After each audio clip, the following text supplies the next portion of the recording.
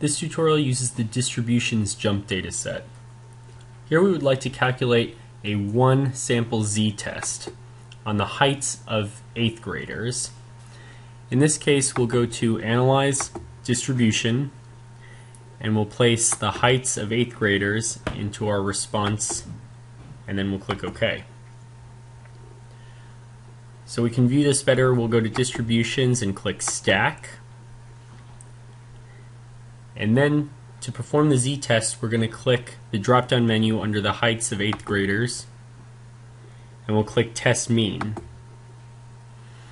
Now we have to enter a hypothesized mean. So in this case, say I want to test the, the hypothesis that the mean is 65 inches for 8th graders.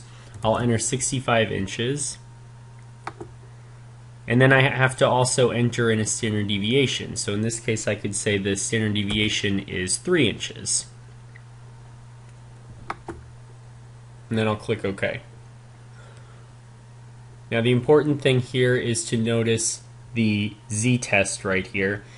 The z-test calculates p-values for different alternative hypotheses. The first one is a two-sided test which gives a highly significant value.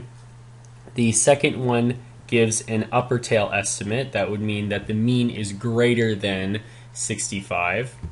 And then the third one gives a lower tail alternative, which means that the mean is less than 65 inches.